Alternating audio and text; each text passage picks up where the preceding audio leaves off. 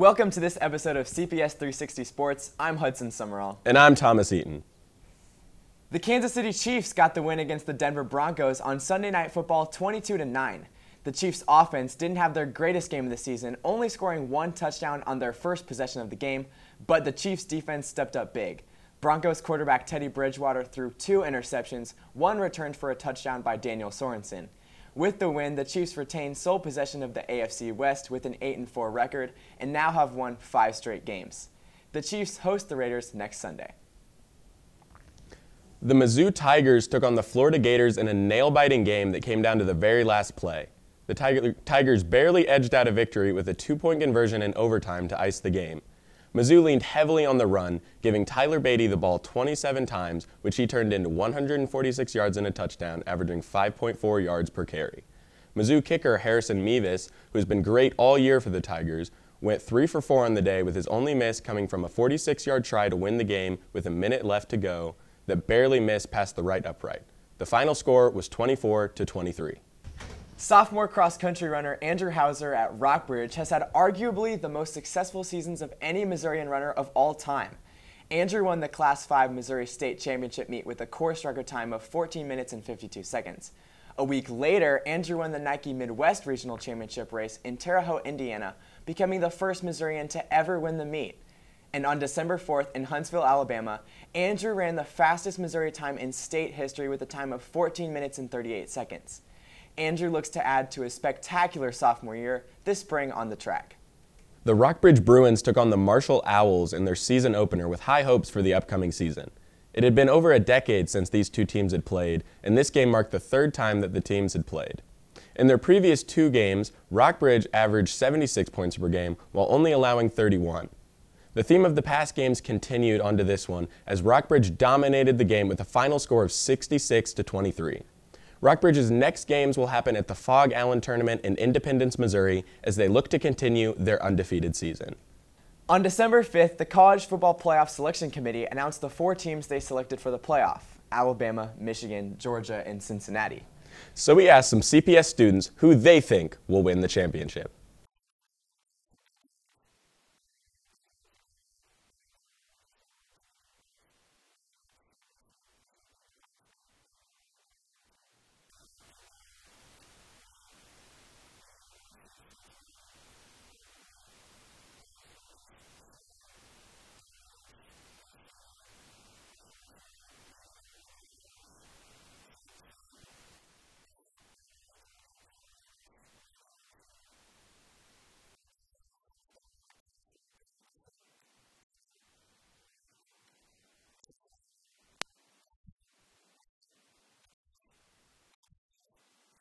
Up next, Nick catches us up on some highlights from early season basketball action.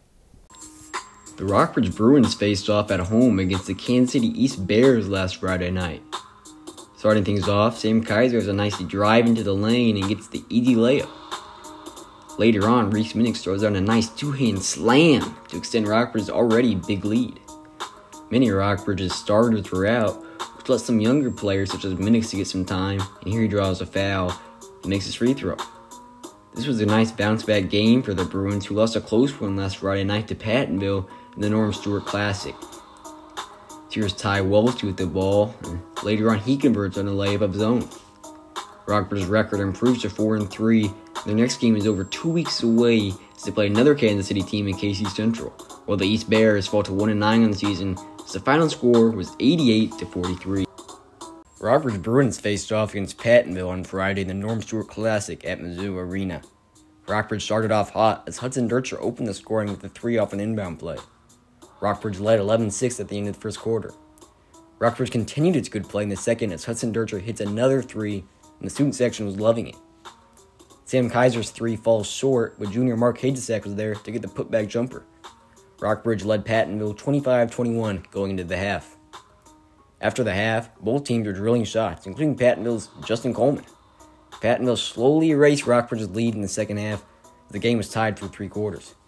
After Pattonville nailed a shot to take the lead with 20 seconds left, Rockbridge had the chance to win, but ultimately could not get a shot up, so the game ended 53 52 Pattonville.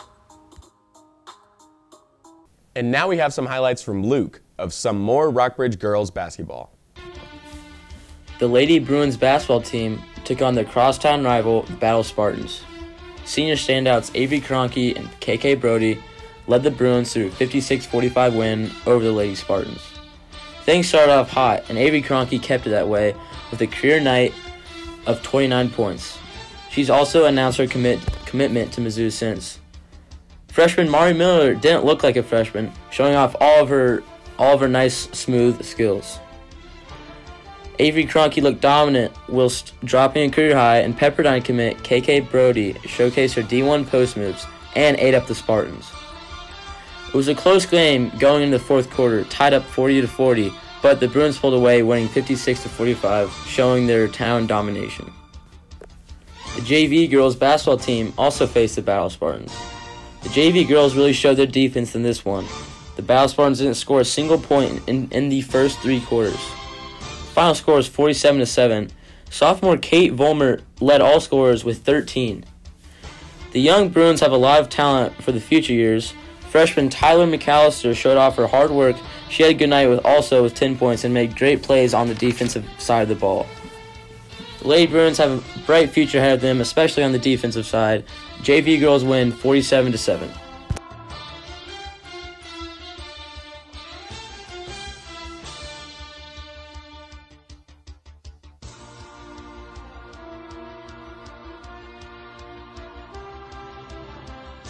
The college football season hasn't even ended yet, and we've already had shakeups at the head coaching positions in major schools.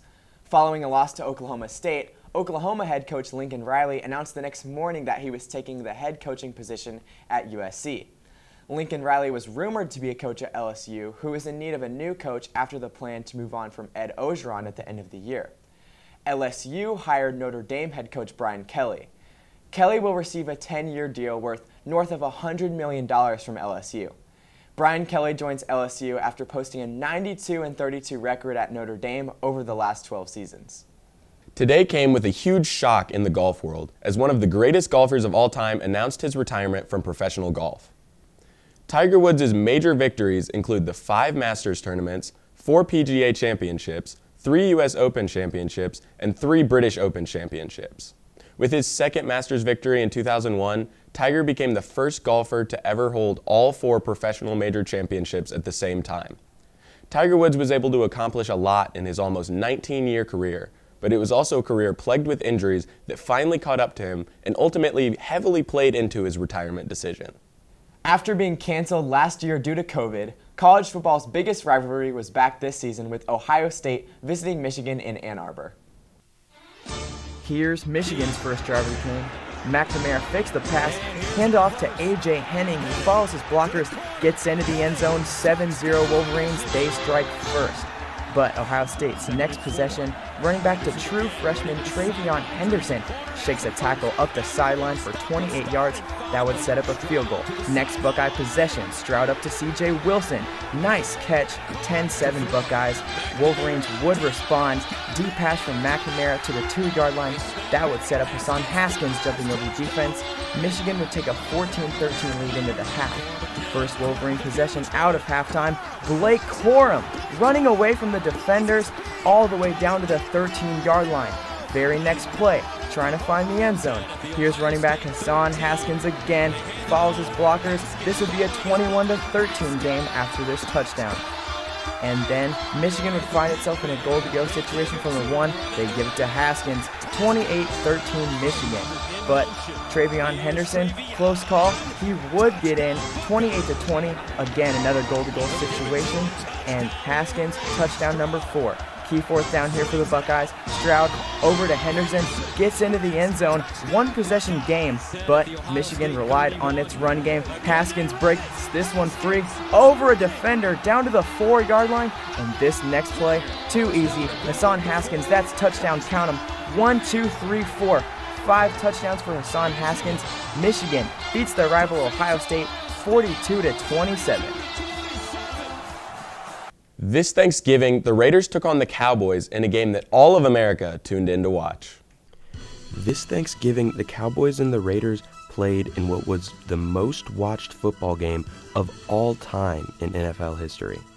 And the Raiders got the game started out quick with this long touchdown from DeSean Jackson, who they acquired on the free agent market three weeks ago.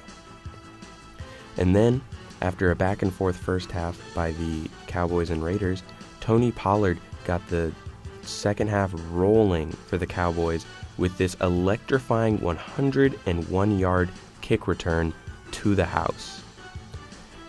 And then, later in the fourth quarter, the Cowboys were down eight and they needed to drive down the field with three minutes left. They got it started with a long throw to Michael Gallup. And then Dak Prescott threw this dart down the middle of the field for the touchdown. Dalton Schultz would also score this two point conversion later. The final score of the game was 36 33 Raiders. Well, that wraps up this episode of CPS 360 Sports. I'm Hudson Summerall. And I'm Thomas Eaton. Thanks for watching, and we will see you next time.